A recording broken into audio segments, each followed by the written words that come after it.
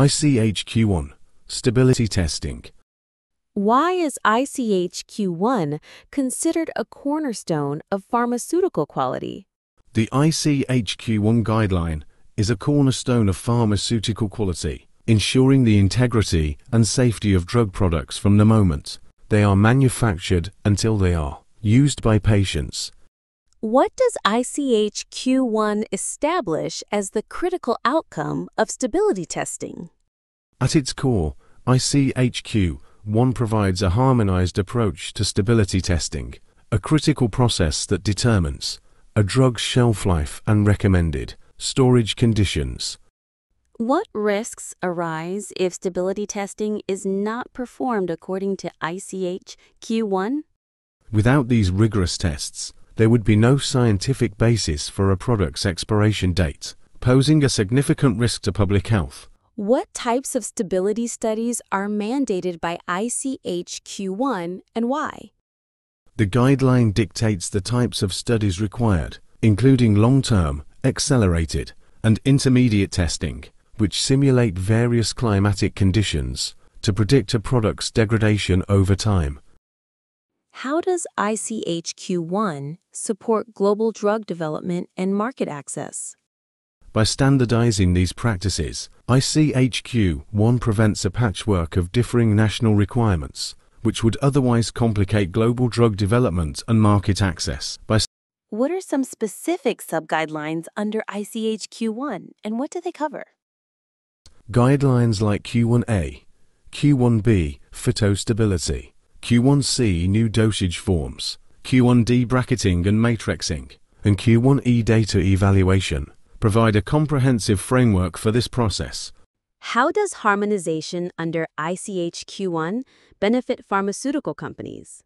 This harmonization saves time and resources for pharmaceutical companies as they can perform one set of studies for multiple markets. What assurance does ICHQ1 provide to regulators, healthcare professionals, and patients? Ultimately, ICHQ1's importance lies in its role as a safeguard, assuring regulators, healthcare professionals, and patients that a medicine will remain safe and effective for its entire specified shelf life. ICHQ2 Analytical Validation Why is ICHQ2 considered the blueprint for analytical validation? The ICHQ2 guideline is fundamental to the pharmaceutical industry, serving as the blueprint for analytical validation. What is the main purpose of the principles established by ICHQ2? It establishes a clear, standardized set of principles for demonstrating that an analytical procedure is suitable for its intended purpose. How does ICHQ2 ensure accuracy and reliability in pharmaceutical testing? In a field where the accuracy and reliability of data are paramount, ICHQ2 provides the assurance that the methods used for testing drug products, from identifying active ingredients to quantifying impurities, are scientifically sound. What are the key validation parameters defined by ICHQ2? The guideline outlines key validation characteristics such as specificity, linearity, accuracy, precision, and robustness. Why are validation characteristics considered checkpoints in analytical validation? Each of these characteristics is a critical checkpoint that ensures the analytical method can produce consistent and reliable results under normal use. What are the two main reasons ICHQ2 is important? The importance of ICHQ 2 is twofold. It is a prerequisite for regulatory submissions and a vital component of a robust quality system. How does ICHQ2 contribute to patient safety? Unreliable analytical data can lead to the release of unsafe or ineffective drugs, so this guideline directly contributes to patient safety. How does ICHQ2 harmonization simplify regulatory submissions? Its harmonization prevents the need for companies to revalidate methods for different regulatory bodies, streamlining the drug approval process.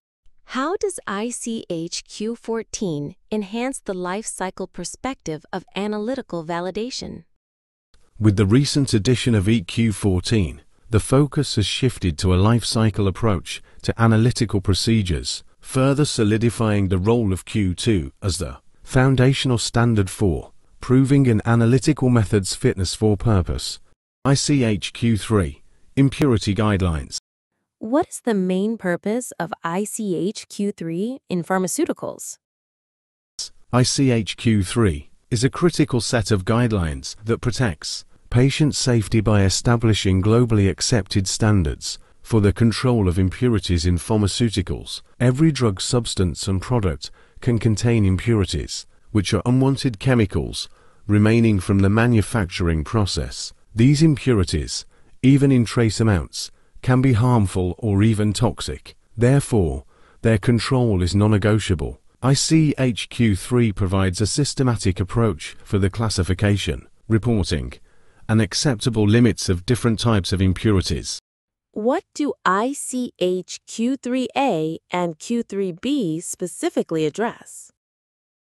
Q3A and Q3B focus on impurities in drug substances and products, respectively, establishing thresholds for when an impurity must be identified and qualified.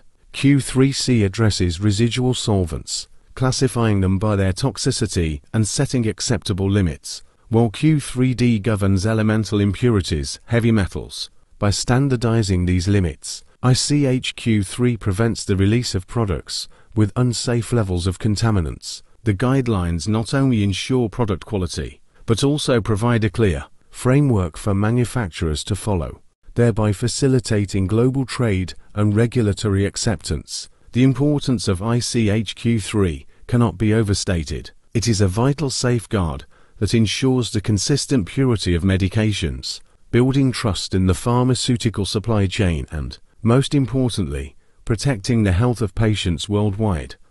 Thank you for watching this video. We hope you found it helpful and insightful. Don't forget to subscribe to Pharma Talks YouTube channel for more pharma knowledge, career tips, and industry updates. Explore our other videos and